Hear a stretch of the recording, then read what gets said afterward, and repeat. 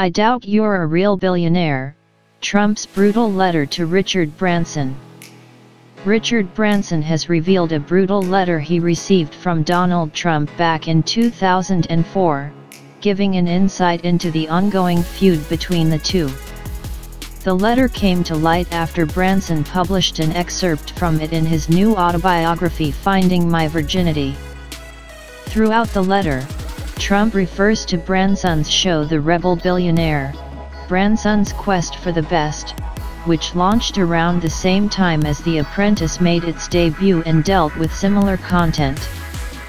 You have no television persona and, as I found out with others a long time ago, if it's not there there's not a thing in the world you can do about it, the letter read. Trump then goes on to take aim at Virgin Airlines, which Branson founded, suggesting there is no way he could be a billionaire. At least your dismal ratings can now allow you to concentrate on your airline which, I am sure, needs every ounce of your energy.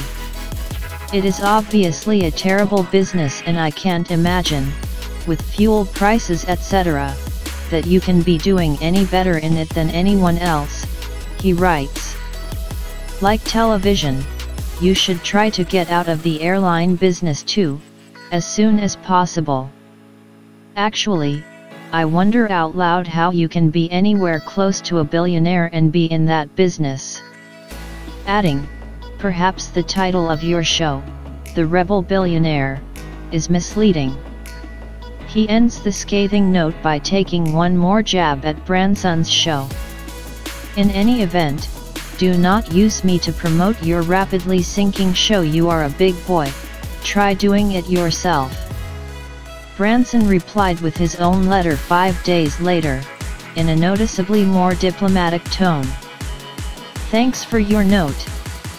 I think if you look carefully through the press cuttings, I have actually avoided nasty comments.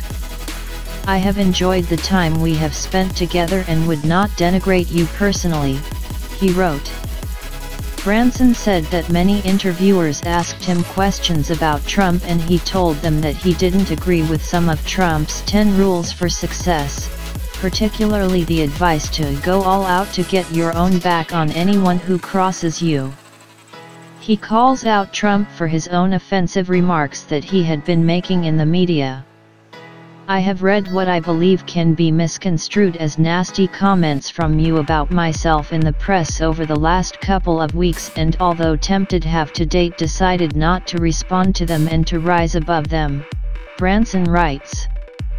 In response to Trump's jibe about whether Branson could even be considered a billionaire he confirmed that he has created $6 billion empires in six completely different sectors and I think that qualifies Fox to title this show The Rebel Billionaire.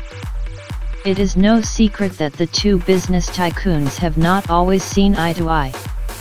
Just before the presidential election last year, Branson published a blog post describing his bizarre first encounter with Trump. According to Branson, Trump had spent the whole lunch meeting talking about how he was going to get revenge on a list of people who had refused to help him when he was near bankruptcy.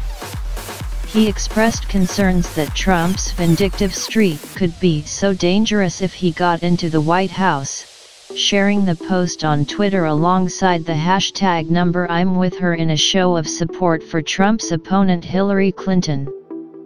The US president needs to understand and engage with wider world issues, not petty personal quarrels number I'm with her.